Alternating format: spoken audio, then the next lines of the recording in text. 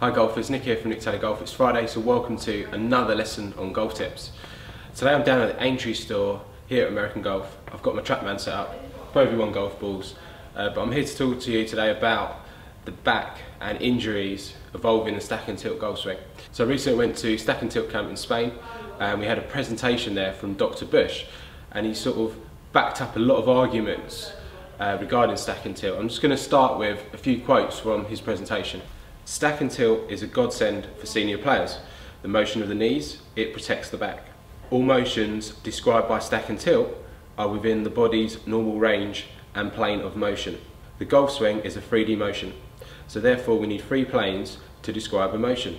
The goal of keeping the upper hub, your head, centered requires motion in all three planes, extending, tilting and turning. So just looking at that first quote there about stack and tilt being a godsend for senior players, I think it's a godsend for a lot of players really. There's, there's no proof in there that stack and tilt is bad for your back and if anything it, it helps you.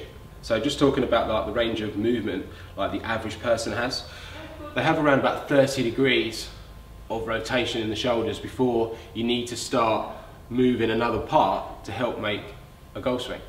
So if I was just to move my shoulders, I could only move them about 30 degrees or create a 30 degree shoulder turn. Now, going back to that first quote where Dr. Bush was talking about the knees, that's really important because in the stack and tilt swing, we do encourage you to change the knee flex, and that in turn encourages you to turn your hips. And the more you turn your hips, the more range of movement you can have in your golf swing. The only way I can make like a 90 degree turn my shoulders is if I turn my hips. And by changing my knee flex, that helps me turn my hips. You take one of the famous golfers on the LPGA Tour, Michelle Wie, very well known for her sort of injury she's had in recent years. And if you look at her backswing, it's very much upper body dominated. So there's hardly any hip turn, hardly any knee flex. In fact, she encourages her right leg or her right knee to stay flexed in the swing. And that really restricts your movement. And there's no sort of coincidence that she's had a number of injuries over the years. So I thought that was a really uh, important quote there from Dr. Bush, just talking about the um, movement of the knees and how important that is to enable you to turn your body without putting too much strain on it. So it often does get criticised for being bad for your back, but if anything, it's, it's a godsend, as Dr. Bush said there. That sort of moves on to that second point there about how the motions described by stack and tilt are within the body's normal range of movement.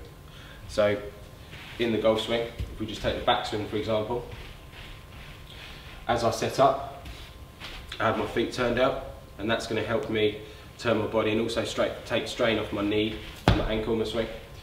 And as I make a backswing to the top, you'll see how the knee flex starts to change. That helps me rotate my hips and then from there I can make a full shoulder turn without putting too much strain on my back. I find it very difficult to make a sort of 90 degree turn. In fact, I can't if I don't turn my lower body. So by changing knee flex, that is going to help you sort of turn your lower body. So just moving on to that third quote there from Dr. Bush, says that the golf swing is a 3D motion, which it is. Obviously, when you look at a golf swing, it's often from a 2D perspective. So from a camera, you're looking at it from one angle.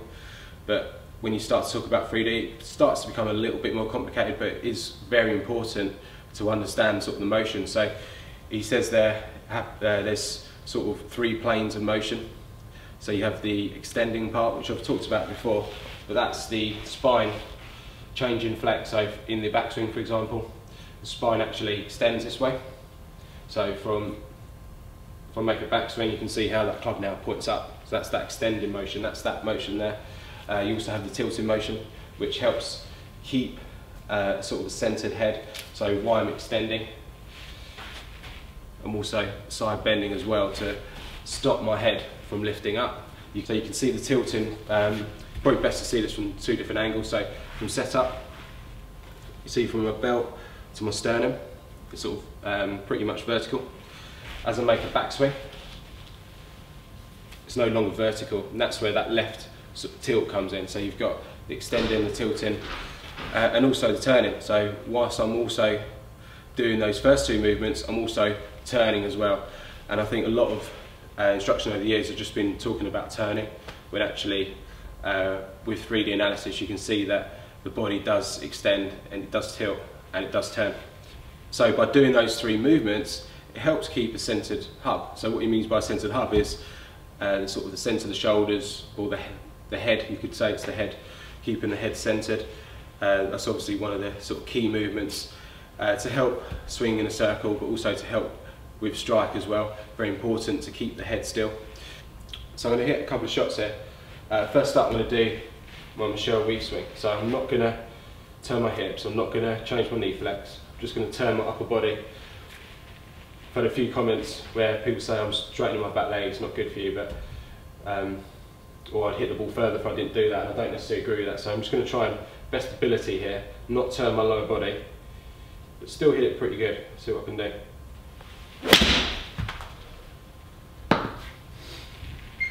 Okay, it wasn't easy. Didn't didn't feel like I turned my hips there. Interesting to see what it looks like on the camera. Okay, now I'm going to do my normal golf swing. So I'm going to allow my knee flex to change, allow my hips to turn. See if I just obviously create my normal back swing with knee flex changing. I've got my feet turned out here as well.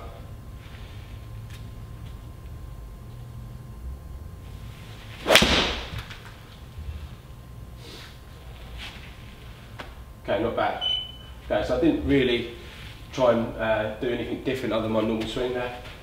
Uh, so sort of 88 miles an hour. So you can see I've created sort of 15 or 16 miles an hour more from my normal golf swing. So I'm not saying you can't play like Michelle Wie, but it does make it harder. It is going to put strain on your body, so I wouldn't recommend it. So golfers, hope you enjoyed the video. Thanks to Dr. Bush for those quotes. Really interesting presentation. Learned a lot from that. But golfers, if you enjoyed the video, please give it a thumbs up. And if you don't already, please follow me on my other social media platforms, such as Facebook, Instagram, and Twitter.